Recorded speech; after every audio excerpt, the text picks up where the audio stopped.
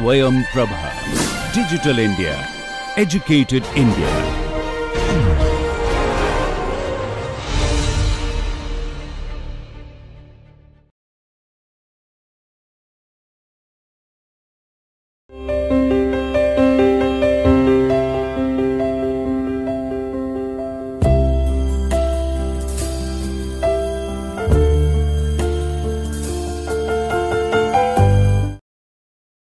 To the eighth lecture. So, we will continue with the last seventh lecture what we have been discussing about the Euler's theorem. So, we were uh, working out how to get uh, A tilde and phi uh, from uh, the C matrix which is the rotation matrix. So, continuing with that. So, uh, what we require to discuss that what happens when phi equal to plus minus phi plus minus 3 pi and so on. Okay. So, for this case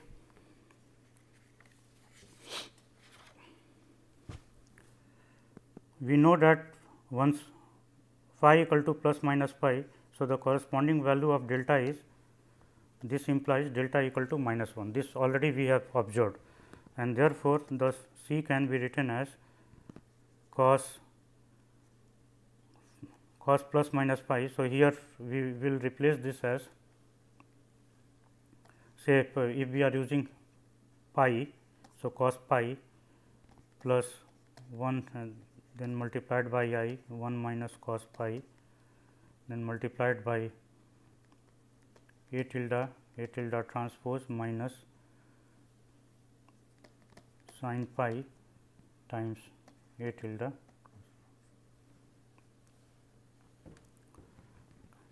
So, what we observe from this place that uh,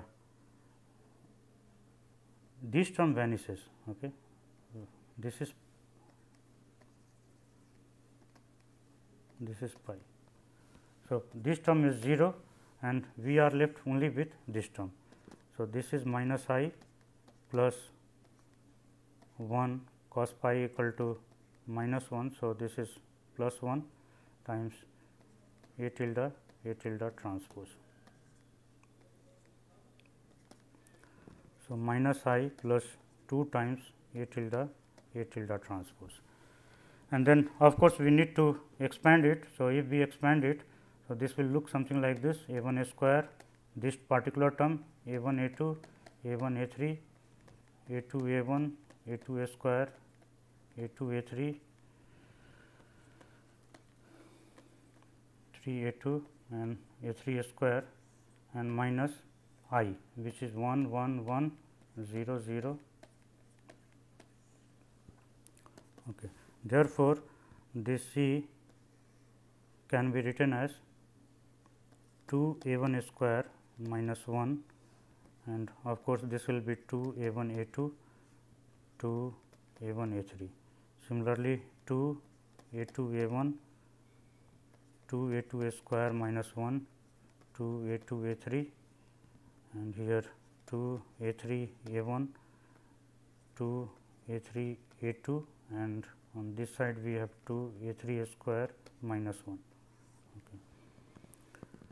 Now, of course, you know that C is C 1 1, C 1 2, C 1 3, C 2 1,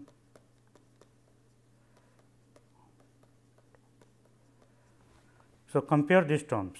Okay. So, if we compare these terms, I am writing here in this portion. So, we can see that C 1 1 this equal to 2 A 1 square minus 1 and this implies A 1 square equal to C 1 1 plus 1 divided by 2 okay. and this implies A 1 equal to plus minus 1 plus C 1 1 divided by 2 under root. Now, the problem here is that plus and minus sign is appearing. So, which sign to choose? Okay. Similarly, if we look for the other one, so uh, A 2 will be plus minus 1 plus C 2 2 divided by 2 under root and uh, A 3 will be plus minus 1 plus C 3 3 divided by 2 under root. So, all of them having plus plus minus sign. So, this is the ambiguity. So, with this value we get this ambiguous case which we need to resolve, but this so happens that this can be resolved by using the off diagonal terms. So, if we look into the off diagonal terms, we go on the next page. So, for the off diagonal terms, we can have 2 a 1 1 a 1 a 2 minus 0, uh, 0 we have already removed. So, we will remove here also. This gets reduced to C 1 2 okay. and this implies a 1 a 2 equal to C 1 2 divided by 2. Similarly, we will have a 1 a 3 from the other terms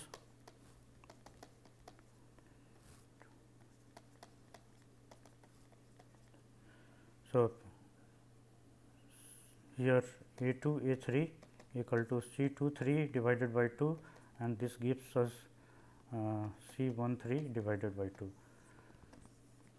So, uh, now a 1 and a 2 this C is fixed is not it because this is given C matrix is given. So, this right hand side is fixed and left hand side in the previously we are getting a 1 equal to plus minus 1 plus C 1 1 divided by 2 under root. So, here this ambiguity is there and let us say the A 2 also the same way 1 plus C 2 2 divided by 2 under root with plus minus sign. Okay. However, if you look into this, this multiplication whatever the sign of this C 1 2 this value suppose this is 1 or minus 5 whatever. So, accordingly A 1 and A 2 must be chosen. So, using this we will be able to resolve this ambiguity at least here in this case and therefore, it is not as problematic as the case with phi equal to 0, 2 pi, 4 pi or minus 2 pi, minus 4 pi etcetera. So, this case is ambiguous, but this ambiguity can be resolved and therefore, a 1, a 2, a 3 and the phi can be decided how much it is. Now, some other issue also uh, we have to look into the issue with the uh, involved with the phi angle.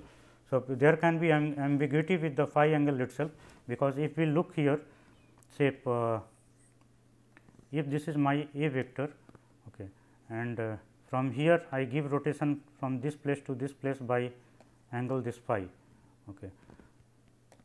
So, the same thing can also be achieved by this is your initial position okay, and uh, here we are currently. So, if we go doing like this. First we have rotated here from this side to this side, this is rotation like this and if we rotate this way. So, along the minus a tilde axis. Okay. So, if we rotate along this axis by say phi prime from here to here by phi prime equal to 2 pi minus phi. So, we get the same vector. So, here the problem arises because the same position can be achieved uh, either by uh, through uh, rotation pi here this way or either through rotation given in the opposite way which is another rotation is given this way, but about the minus a tilde axis and both are going to the same position.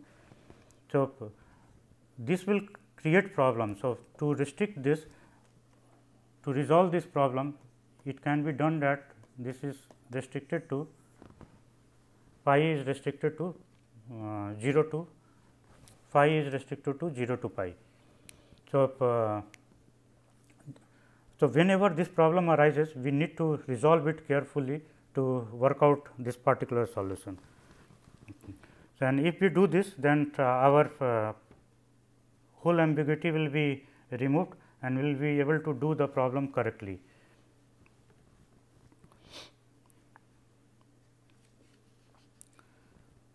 and uh, this part this is also obvious from uh, 1 by 2 sin phi times uh, C transpose minus C.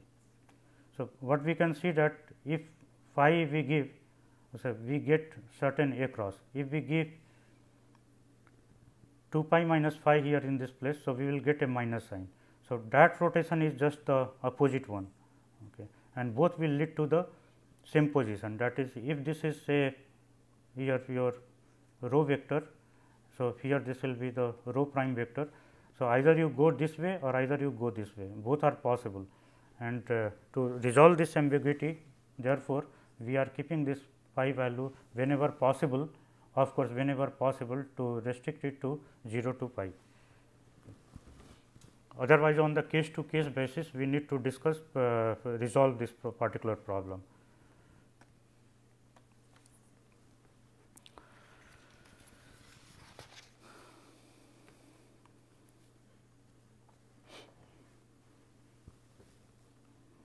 And uh, as an example lastly, uh, we consider this matrix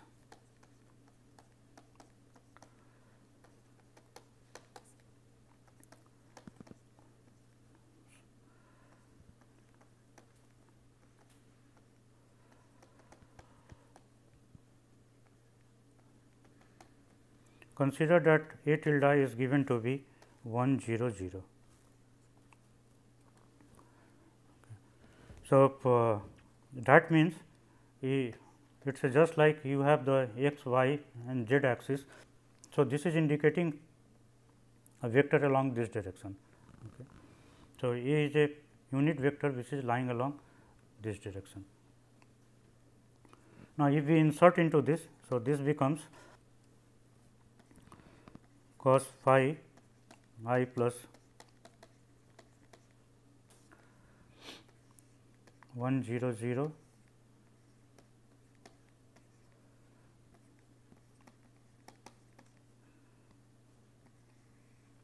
A cross. So, A cross the diagonal elements will be 0 and here minus A 3 which is 0, A 2 which is also 0 and A 1 uh, with minus sign here. So, this is minus 1 and here we are getting for that reason 1 all other terms are 0. And if we add all of them, so this is your cos phi 0 0 0 cos phi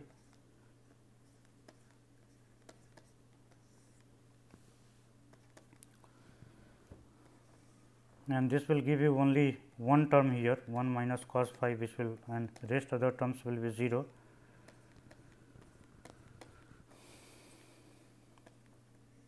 And in the same way here 0 0 minus sin phi and uh, 0 sin phi 0.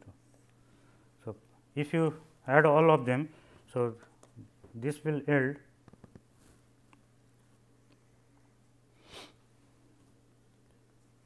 cos phi plus 1 minus cos phi and then this term is 0. So, that term is removed rest others they are 0 0. So, this is 0 0 similarly, here 0 0 0. So, this term remains 0 the second term cos phi 0 here it is 0 so second term is cos phi. And uh, third term here 0 0 and this is minus sin phi. And this minus minus that gets plus. So, this is sin phi. And again this term will be 0 0 this is 0 0 and this is sin phi. So, sin phi comes here and lastly this cos phi 0 and 0. So, this is cos phi. So, here this comes with minus sign. So, we are putting minus sign this this term it cancels out and that leaves it with 1 0 0 0 cos phi sin phi 0 minus sin phi and cos phi. So, we can see that this C matrix if A is the vector given so, the x axis. So, this gets reduced to this format and we are aware from our earlier discussion this is nothing but rotation about the x axis by angle phi. So, this is what this theorem states. So, this is the rotation about the vector A by angle phi and exactly what we are getting here in this place.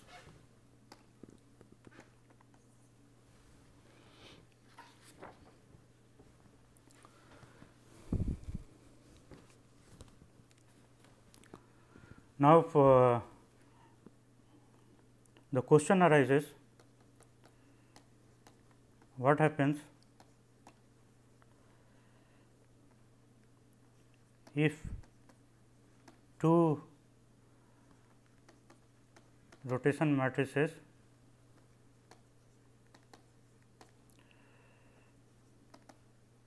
given by C equal to cos phi i plus 1 minus cos phi sin phi a tilde transpose cross sin phi a tilde cross. So, these are multiplied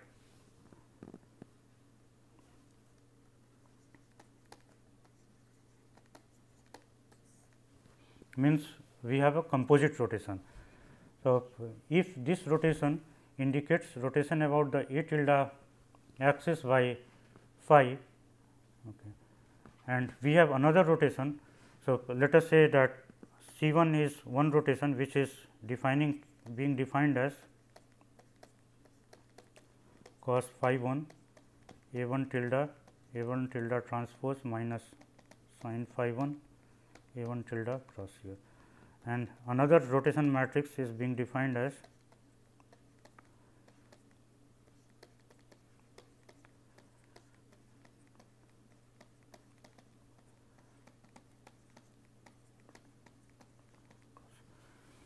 So, if we give this rotation first, okay. so that is rotation about the A 1 eigen axis. So, this is rotation about A 1 tilde eigen axis. Next, we give rotation about the A 2 tilde for the to the same body, okay, A 2 tilde eigen axis. So, obviously, uh, this one is composed of three rotations in general. This also it is a composed of three rotations. So, uh, if we operate like this. So, this is composing of three rotations, this is composing of three rotations. So, total it is a composite rotation, one rotation must total it is equivalent to a single rotation. So, from here also if we multiply them, so it should turn out that this is equivalent to a single rotation which can be written in the format which should be which we should be able to write in a format as say the cos phi 3 i plus 1 minus cos phi 3 a tilde 3 transpose minus sin phi 3 a tilde 3 cross. So, where a tilde 3 this is the now eigen axis for the composite rotation.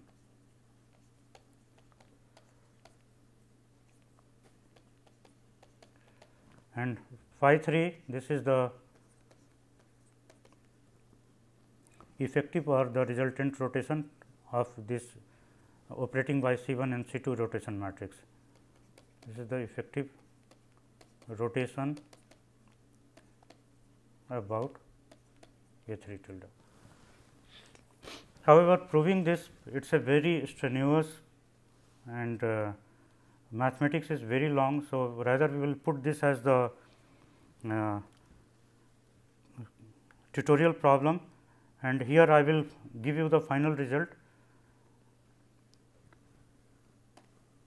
So, uh,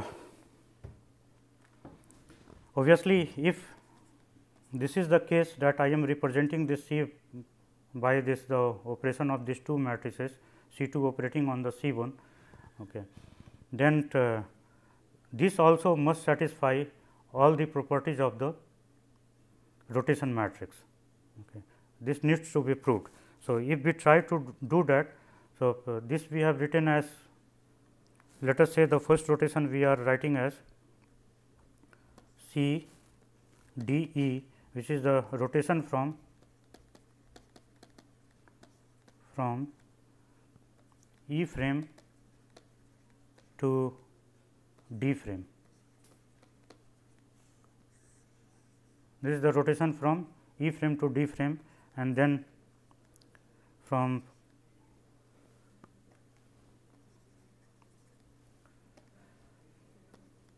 D frame to B frame. So, D is the intermediate frame.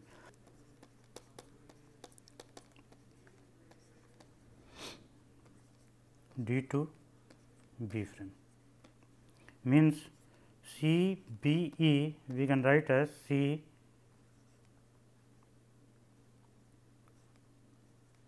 B D times C D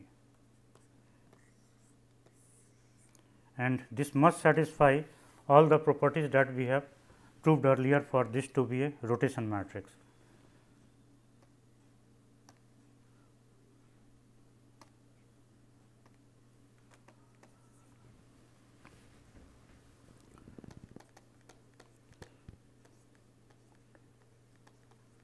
So, for the composite rotation this C B slash E it can be proved that that will set as the tutorial problem this uh, 3 times C 1 C 2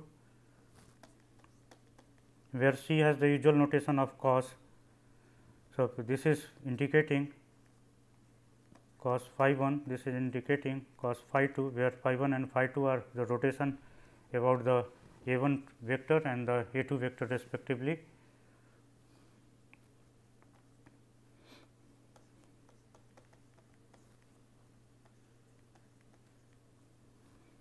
Gamma this is the angle between between a 2 tilde and a 1 tilde.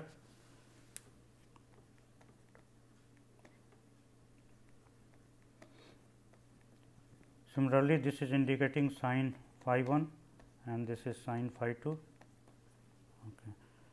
and lastly we have the we have other two terms plus C 2 times 1 minus C 1 C 1 times 1 minus C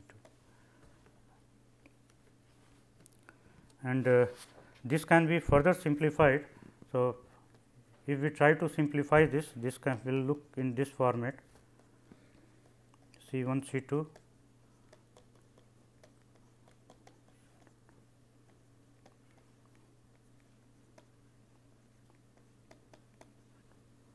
So, this is trace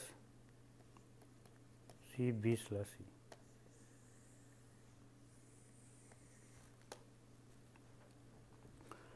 Where a number of identities need to be used to prove this final form and it is a very strenuous. So, we are avoiding this and we will take up this in the as a tutorial problem rather than doing it in the as a lecture problem.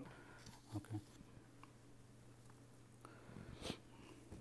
So, from this place then you will get cos phi 3 as usual 1 by 2 the trace of C b slash E minus 1.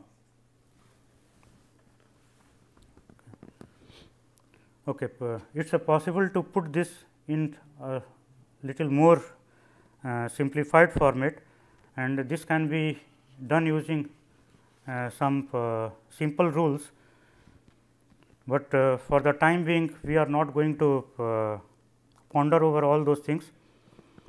So, if we try to work out this where you remember that C 1 is cos phi 1, C 2 is cos phi 2 and so on and here S 1 S 2 they are appearing as sin phi 1 and sin phi 2. So, it can be proved that cos phi 3 divided by 2 this equal to plus minus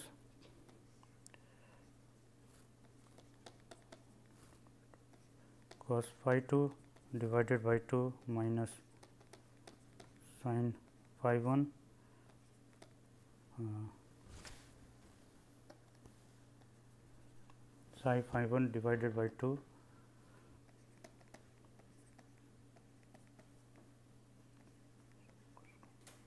So, this can be reduced into this format. You remember that uh, this particular one. Okay. Using this, so insert this into this and then finally, this can be written in this format. So, from this place it is easy to work out this phi 3 and 2. Now, uh, this plus minus sign uh, what is appearing here this must be resolved Okay. So, what we see that when phi 1 equal to 0 and phi 2 equal to 0. So, this part will get reduced to 0 and this part will get reduced to plus 1. Okay. Okay, and therefore, so the sign ambiguity uh, whatever is existing here this can be resolved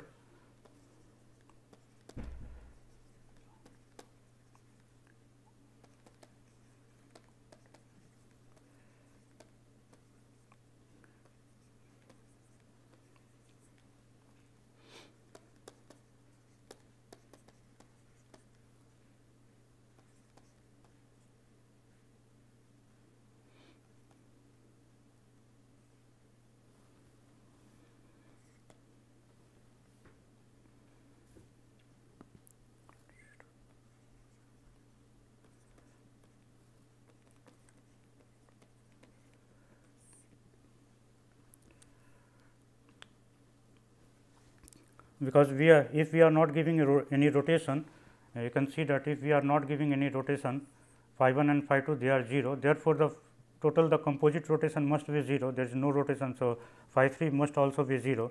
So, on the left hand side this turns out to be plus 1. So, right hand side also must be plus 1 and therefore, this sign gets resolved here. So, we pick up the plus sign from that place. So, using this technique you will be able to resolve the uh, sign problem.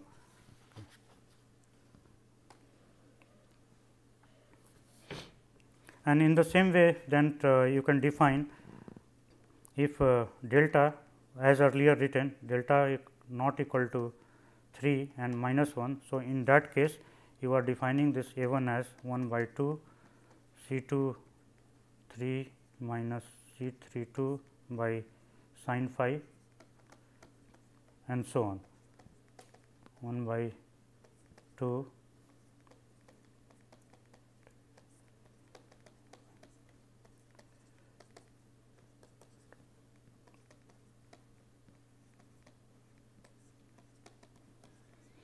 So, whatever the this case already we have discussed for a single uh, C matrix. Once we multiply it, once the C 1 is multiplied with this C 2. So, for that case also the same thing is applicable. So, here in this case this is referring to the case where your C matrix the final C matrix you are writing. So, those components will be written in this way and uh, A 1 is defined like this and vice versa the same way you can do exactly.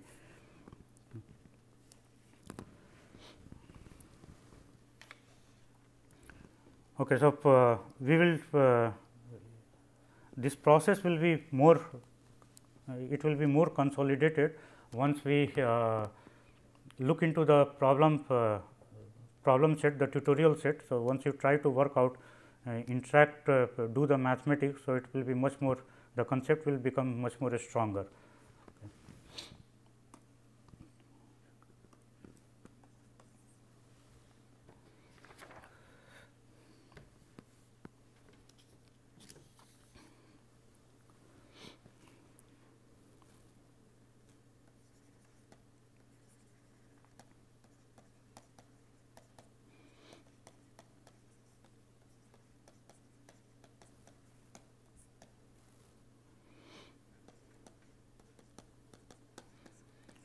For finding out this is the equation we have been using. Okay. So, uh, for this here C is nothing but C B slash E which you have written as B slash D C D slash E.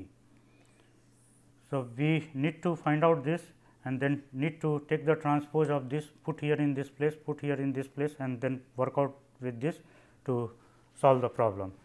So, it is a very very very lengthy and very strenuous. Okay, so, this portion we are going to skip and uh, we are reserving it for our uh, this uh, particular tutorial problems. So, I will write the final result here this can be written as 2 sin phi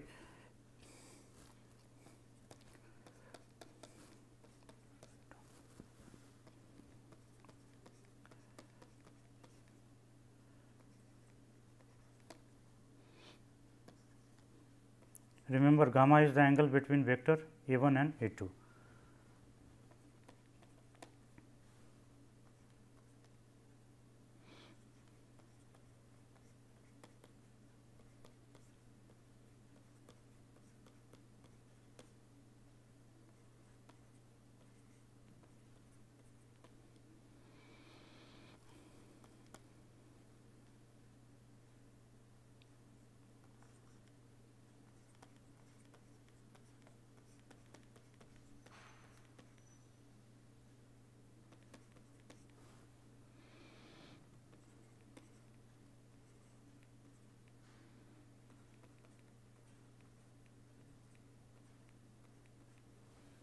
Okay, so, this is what you get once you write it in this format on the right hand side. Okay. This is consequence of here we need to remove this this particular part. Okay. So, as a final result this is what we get a tilde or uh, if you write in vector notation. So, simply you write as a. So, this quantity will be given here in this format. Obviously, this is quite long still, but uh, seeing the whole thing the original if you try to prove this putting this C matrix from this place C transpose and then C and then trying to work out it stretches over a number of pages but it so happens that this can also be uh, little bit more simplified and put into a simpler format.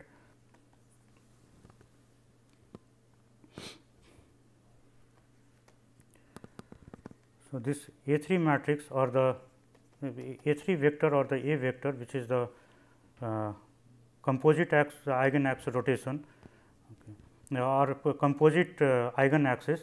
So, this can be written as 1 by the previous equation what we have written it can be reduced in this format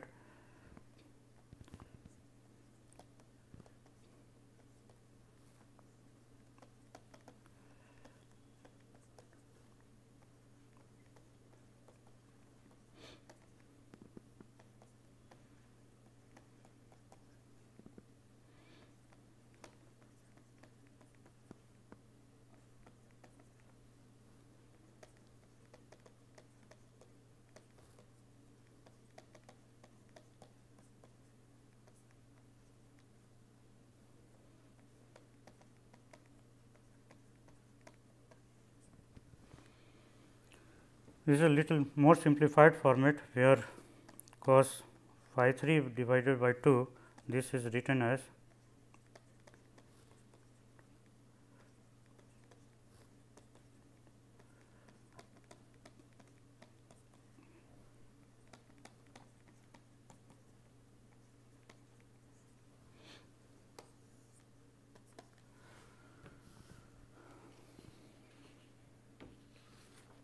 Okay, so, once we know this, so uh, we can observe something very interesting from this place that uh, this suggests that A 3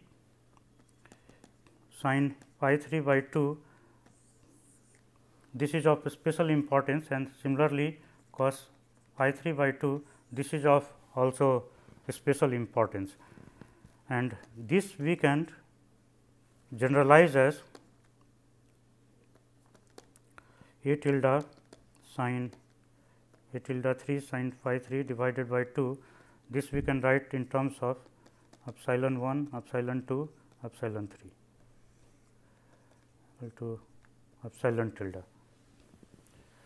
Actually, here in this place where the quaternion notation starts rather than telling that it is a quaternion these are called the Euler parameters.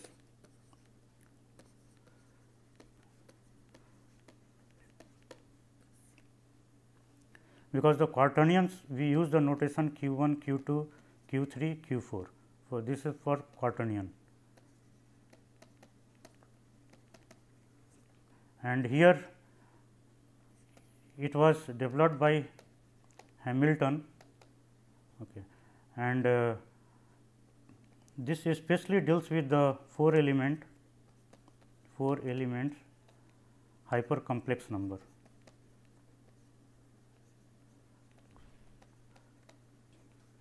So, till 12th we have done just like the x plus i y this we have considered as a complex number. Okay. But here what we see that this is 2 element complex number. Okay but uh, this one is defined as the 4 element complex number where this is the real part and these 3 happen to be the complex part. So, it so happens that whatever the equations developed using this they can also be derived using this, but this is basically the complex notation and this we are working with the matrix notation. So, rather than calling this as the quaternion we call as the Euler parameters. However, if you uh, are doing the mathematics, so uh, equivalently you can say that uh, we are working with the quaternions, but in strict sense this is Euler parameter and here this set is the uh, it is called the Hamilton uh, this quaternions which was obviously developed by Hamilton. Okay, so, uh, we define epsilon tilde like this and uh, then we define eta as cos phi 3 divided by 2 which is appearing here in this place. So, this particular part and this part this is of special significance and uh, see what if we see that epsilon 1, epsilon 2, epsilon 3 and eta these are the 4 parameters involved, but in a rotation we have only 3 uh, 3 rotation uh, angles involved which is psi, theta, phi. Okay, th these are the only 3 Euler's angle involved.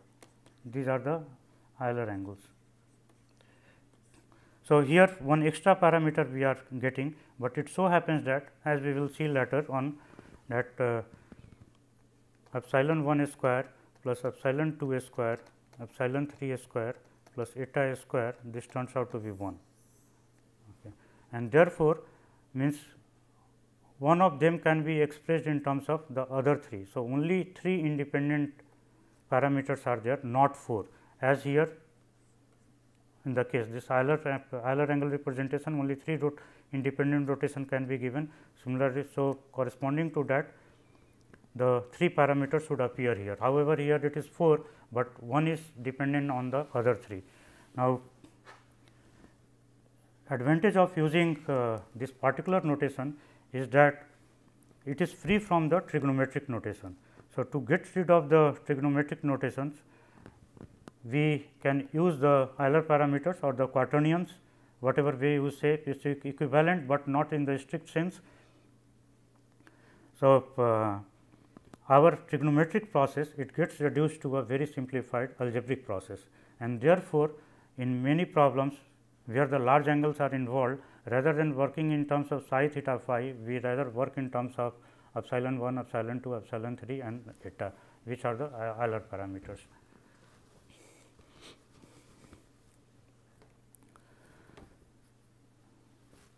So, we will continue with this uh, in the uh, next lecture, uh, where we will wind up this quaternion and uh, whatever the mathematics we have not developed. So, uh, this mathematics will go as part of the tutorial, where we will be able to uh, work out those. If you face any problem at that time, so we will interact and then resolve all those problems. Thank you very much for listening.